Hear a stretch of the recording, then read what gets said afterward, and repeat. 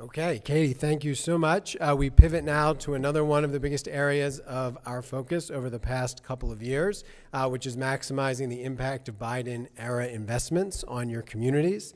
Um, to lead that conversation and introduce our next segment, I'm thrilled to welcome a New Deal alum, an innovative former mayor and county supervisor from Santa Cruz, California, and most importantly, the founder and co host of our podcast and honorable profession, uh, Ryan Coonerty. Welcome, Ryan. Hey.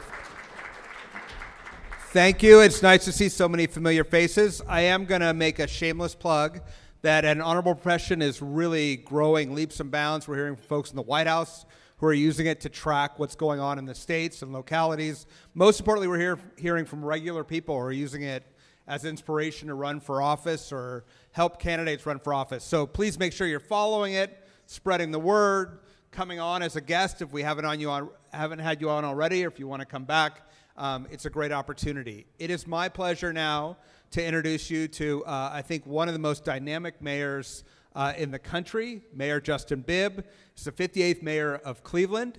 Uh, he uh, is following the Daniel Burnham quote to make no small plans. Uh, he is using federal dollars in a bunch of different sectors, and we're really excited to hear about um, those efforts today, and we're proud to have him as part, obviously, as part of the New Deal um, and joining us here today. So, Mayor Bibb. Yes. Let's talk about a few of those plans. Yeah. Can you outline two or three that you're most excited about? Well, first, I wanted to thank Mayor Gallego for the invitation to our great city. It's been a lot of good sunshine in Phoenix, so let's give her a round of applause if we can. She's also uh, my colleague as uh, one of the vice chairs of climate mayors, as well as Lauren McLean, who's here as well too. So we got we got a lot of good mayors in the New Deal Club. Um, when I took office, uh, Cleveland was ranked the poorest big city in the country. Uh, nearly half of our children were living in poverty, and we were also ranked the worst city in the country for black women. Uh, but we are using uh, those challenges uh, to make some bold, big investments in our city because of the great work that the Biden Harris administration has done in investing in cities uh, like Cleveland, Ohio. Uh, we received the eighth largest allocation of American Rescue Plan funds from the ARPA investments, uh, over $512 million.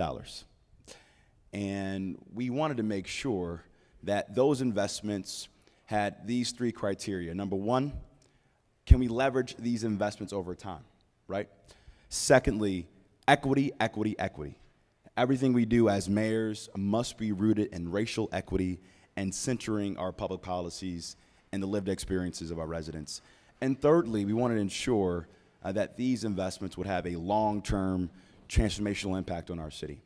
So one of the big things I'm excited about is our largest allocation of ARPA funding created a new $50 million sites fund for good jobs. So what are we doing? We are taking 1,000 acres of brownfield vacant land in our city that's predominantly located in black and brown neighborhoods in Cleveland and turning those 1,000 acres of brownfield vacant lots into shovel-ready greenfield sites. And why is that important? Well, Cleveland was once a walk-to-work city whether you walk to the old steel mill or the old manufacturing uh, base. And over the last two decades, we have lost nearly 20% of our population and have lost hundreds of thousands of jobs. And already, uh, this new investment is projected to create up to 65,000 new indirect and direct jobs in the urban core of our city. The other thing we're excited about is the work we're doing to address and eradicate lead paint in our community. Uh, no child should be, ever be poisoned uh, by lead paint in this country. And Cleveland has one of the biggest challenges in the nation when it comes to lead paint. And so we use $17 million of ARPA funds to create a fully funded endowment to work with the nonprofit community to ensure we can eradicate every home in our city around the lead paint crisis. And so those are the two of the, the biggest investments we've made around ARPA that I'm really excited about. One of the things I was interested in is you came from a background in education and technology. Um, how are you going to leverage the massive changes we're looking at in technology to bring benefits to your city? Well, um, when I ran for mayor in 2021 um, as a first time candidate for public office, uh, when I was knocking on doors uh, trying to get my name on the ballot, uh, the biggest thing voters told me was they wanted a modern and responsive city hall. And when I got to the mayor's office, um, it took me almost two days to get my email account set up. That's how far behind we were uh, when I took office in January of 2022. Uh, and in just two years, we've done a couple things to really change that. One, um, we have now created the first new city website we've had in nearly two decades in Cleveland. We can clap for that. That's a big deal. Um, we've also will be launching a brand new 311 call center um, action hotline later this year because I made a commitment and a vow to my residents that they should be able to track a complaint like they track a FedEx or an Amazon package. And just two weeks ago, uh, we joined 85 other cities across the country to finally have an open data portal as well too. Because many of my lawyers in my law department are spending many hours on public records requests, on various data requests, and not getting contracts done, doing the people's work. So all those investments go a long way to make us a more modern and responsive uh, city government for the 21st century. Uh, as you mentioned, you made these big investments and big bets with ARPA funds. Um, we all know that those funds, unfortunately, are likely to be one time funds. Uh, so, how do you think about continuing to invest in this change and invest in communities uh, going forward? Yeah, well, beyond just uh, the ARPA funds, um, you know, from the Inflation Reduction Act to the CHIPS bill uh, to the bipartisan infrastructure bill, all of those federal investments are giving cities like Cleveland and Boise and Phoenix and Detroit and Pittsburgh a once in a generation opportunity to really center income um, equality, closing the racial wealth gap, and creating new opportunities for economic opportunity. And so we've really been focused on engaging our foundations and the private sector to compete for more than our fair share from the federal government. The other thing I would also say is it's so important uh, that we also prioritize uh, state support as well. Uh, right now, we are trying to become a two waterfront city in Cleveland because we sit on 20% of the world's fresh water in Lake Erie. We also sit on the banks of the Cuyahoga River, which uh, over 50 years ago caught on fire and is now a leading example of what clean waterways should look like in the country. And so we've been working with our federal delegation, uh, with leaders in the Biden Harris administration, with the governor and members of the legislature to make a once in a generation investment in all waterfronts. And I believe it's that kind of public, public, and private sector partnership we need to maximize uh, these federal and state investments as well too. Talk about your interest in resilience, both through the climate mayors, but also through these Clean Water Acts, cleaning uh, brownfields. How how do you think about resilience and climate uh, for your city? Well, um, when I ran for mayor in 2021, I had no idea I would become a climate mayor. Um, and I say that because for a lot of folks in the climate change space, um, we've done, I think, a disservice in many ways to our residents by not grounding this conversation about addressing climate change in ways that everyday people understand.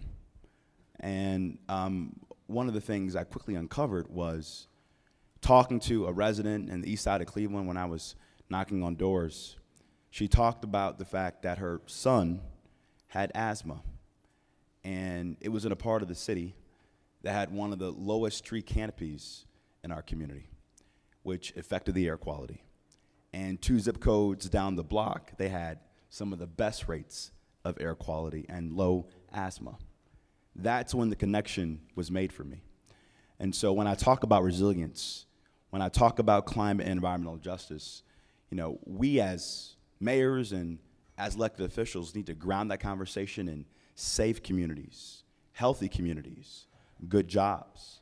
Um, we think about, I think about at least, violence as an issue of climate and environmental justice. Because if you're living in a, in a heat island with no tree canopy, or you live in a part of your community where it's not a good park to go to to relieve stress or to meditate or to play pickup basketball, then that's an environmental justice issue and has a direct impact on violence in most cities. And so all these things are interconnected, and we as mayors and elected officials must do a better job of communicating that resilience in ways that everyday people can understand. I'm curious. You came as an outsider. I think I saw something. You had like two percent name recognition. Less than that. Less than two percent. There's only a couple numbers below Yeah, that. exactly. Uh, so, um, ta- can you talk about what surprised you about the job, about local government politics? Yeah.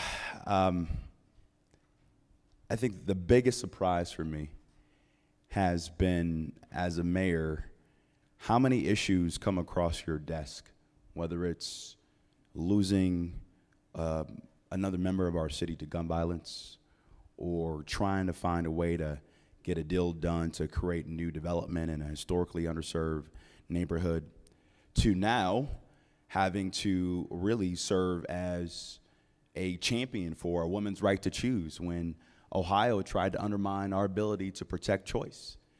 All these things are now on the front desk of mayors in a way they weren't pre pandemic.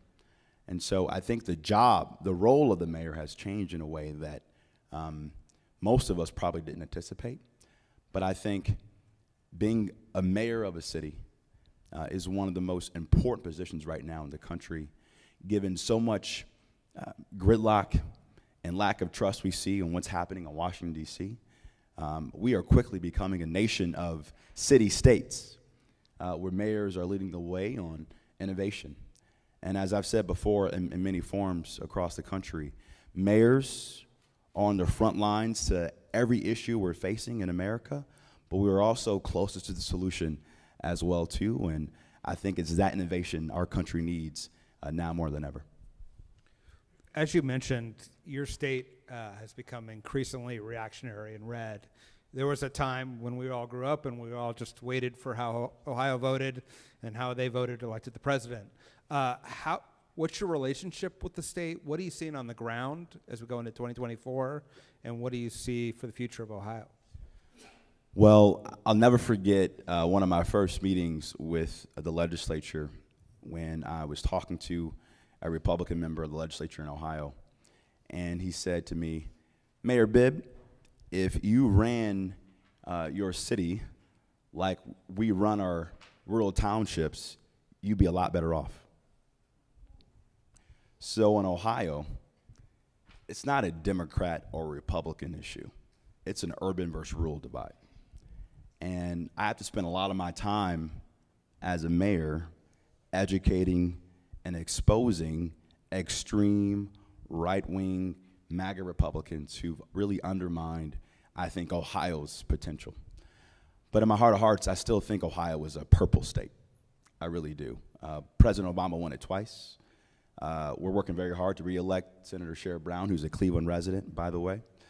Um, and I think we have a unique opportunity in Ohio to really show what can happen when Democrats and Republicans work together. I'll give you a couple of examples. One, um, in my first year in office, uh, I tried to expunge low level marijuana convictions for Cleveland residents.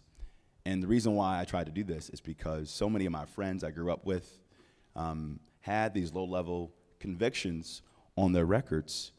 And because they couldn't get them expunged, they couldn't get a home loan, couldn't get a small business loan, couldn't qualify for financial aid. And the courts tried to block us.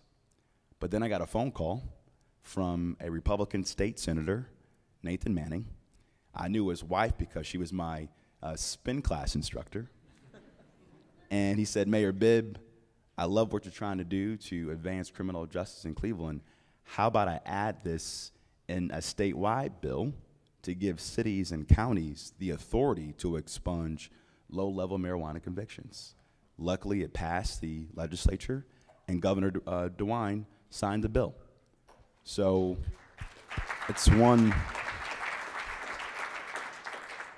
one of many other examples where we have Democratic mayors finding common ground with Republicans in their legislatures and in governors' mansions. And I think we as mayors have to elevate that work now more than ever to really address all the social division and lack of common sense, bipartisan governing we're seeing across the country. Finally, I want to ask you something because I, I know you're getting pulled in a million different directions, locally, nationally, for all the leaders in the room who are in the same boat. How do you think about how you prioritize your limited time, your limited energy? How do you find time for that spin class that then plays dividends and statewide policy? Uh, so, uh, you know, like, how, how do you prioritize and, and get results? Well, I learned very early in my first six months that you can't wing something like that. You got to have a structure around it. Because, you know, I was in a hurry to get everything done in my first year in office. I mean, I ran on the campaign slogan, Cleveland can't wait, uh, because I just knew how boldly we needed to change our city. But in my first year, my chief of staff sat me down and said, Mayor, once you're long dead and gone, I'm like, way to be morbid, man. It's kind of tough. What do you want to be remembered for?